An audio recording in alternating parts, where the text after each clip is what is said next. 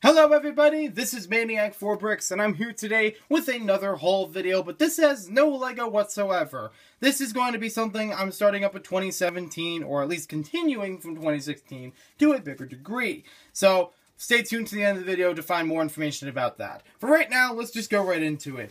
I already did an unpacking for this video, but unfortunately all the all the footage kind of got cut short, so uh, to put it basically, all the stuff you see right here, I got from GameStop. I ordered it online. I picked it up in store. And what do we have here? Well, we've got two different memory cards for the PlayStation 2 and the PlayStation 1.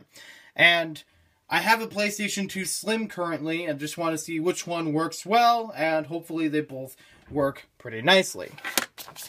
Then we have, for the GameCube, Star Wars Rogue Leader, Rogue Squadron 2. I already have played Rogue, Squadron 3, which is Rebel Strike, and I've had a lot of fun with that game over time, so I'm excited to play another Star Wars game of the same franchise, or in the same series.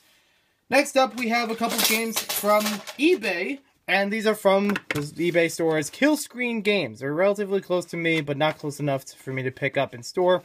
Uh, they're they're kind of like on the other side of the state where I live. So these are PlayStation games I used to have on the PC, and since the PC is not always the master race, I you know I always hear it being, especially when games go obsolete after a while. Um, and you just upgrade the PCs and you're like, I can't play these. So I've been on a revival project for a while here and there trying to pick up games I used to have on the PC and then get them for another console like N64, GameCube, or PlayStation as we see here. So I'm going through a whole bunch for PlayStation right now. And we have Bugs Bunny and Taz Time Busters and Bugs Bunny Lost in Time. Apparently, according to the back of this box, this is the first 3D platformer Looney Tunes game. I don't know if that's actually true. I will look that up more on my own, but I am intrigued to play it again on the PlayStation. And Bugs Bunny and Taz Time Busters, I used to play that not only on my own, but also since it has a two-player cooperative mode, I used to play it with my older brother quite a bit. We had a lot of fun, you know, playing through the game and completing it, so I am looking forward to playing it again, even if it's a one-player experience. I'll get to switch in between Bugs and Taz as necessary. So, what is going on with the channel? Well, a while ago in 2016, I've done hauls here and there that include things such as Nintendo Amiibo, uh, Disney Infinity, and just other video games. I've even had a couple of collectathons that involve video games collections for different consoles. I will be continuing on the collectathons for things like the Wii and Wii U, the Xbox 360, and now that we've added a new member to the family, the PlayStation and PlayStation 2.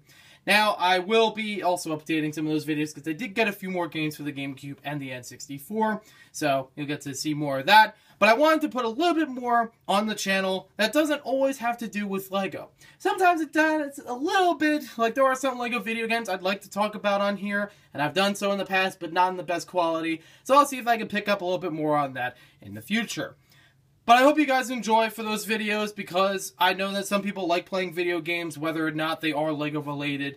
And I personally like to just kind of group some of the things that I like together. It's not going to take over the entire channel. It's probably going to be, you know, less than a third of the content that will be produced on Maniac4Bricks in 2017.